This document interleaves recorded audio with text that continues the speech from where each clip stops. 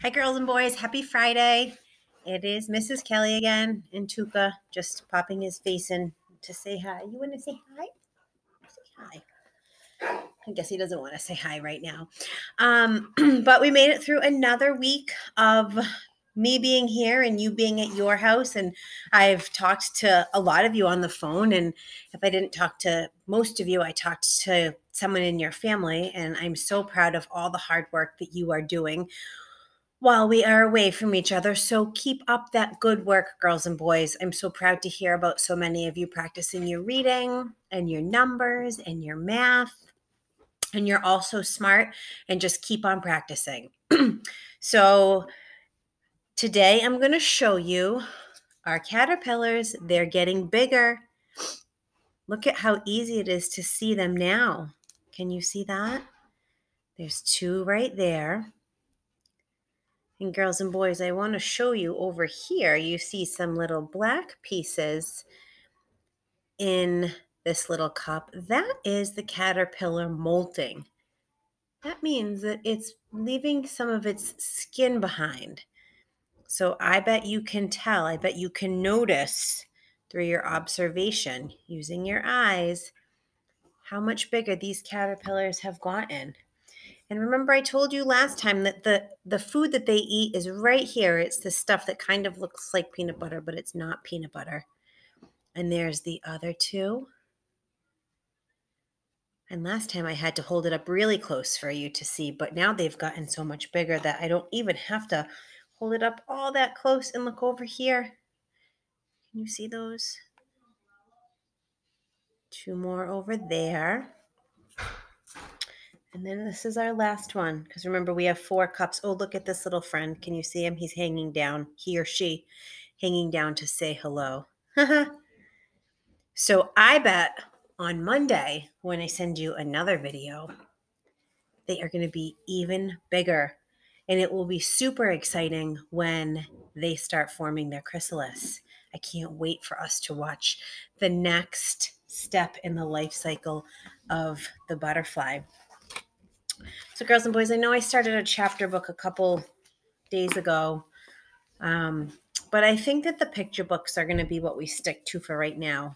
I think that they're a little bit easier for you to follow and a little bit more fun for you to look at the pictures. Um, if you really loved the chapter books, have your mom or dad or someone in your family send a message on Remind to let me know that you'd really like me to start reading those again, and I can I can bring those back. But for today, I have a book called If You're Hoppy it was written by April Pulley Sayre, and the pictures are by Jackie Urb- Urbanowick.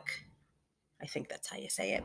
Anyway, I picked this book because April is a time where you see lots of bunnies hopping around. Maybe you celebrate Easter and maybe you don't. But either way, I've noticed a lot of bunnies in my yard hopping around. And this is just a really cute story slash song.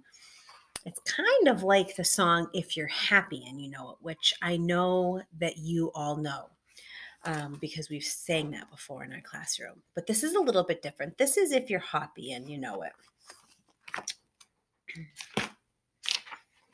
All right, here we go. Go this way. Can you see it? I guess I'll sing it for you. If you're hoppy and you know it, you're a. What do you think this says? A frog. A frog. If you're hoppy and you know it, you're a frog. Or. What's this one? Look, a bunny. If you're hoppy and you know it, stretch your toes to really show it. If you're hoppy and you know it, you're a frog or a bunny or a cricket. Crick, crick. Now it changes the word. It rhymes with hoppy, but look, this is sloppy. Ready? If you're sloppy and you know it, you're a hog. You're a hog. If you're sloppy and you know it, you're a hog.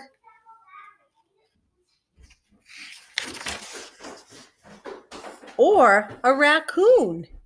If you're sloppy and you know it, squeeze your face to really show it. Girls and boys, squeeze those faces. If you're sloppy and you know it, you're a hog or a raccoon or a chimp. No, or a chimp or a baboon. All those animals must be pretty sloppy.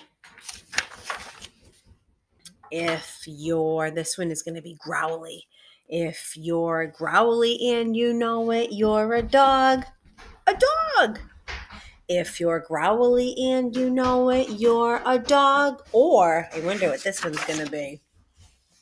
What's this one? Say it with me. A bear. If you're growly and you know it, make a sound to really show it. If you're growly and you know it, you're a dog or a bear or a tummy over there. Make a growly sound. Grrr. Now we're going to sing If You're Flappy and You Know It. Are you ready? If you're flappy and you know it, you're a bird. If you're flappy and you know it, you're a bird. Or, what do you think this is? A butterfly. If you're flappy and you know it, swing your wings to really show it. If you're flappy and you know it, you're a bird or a butterfly. Or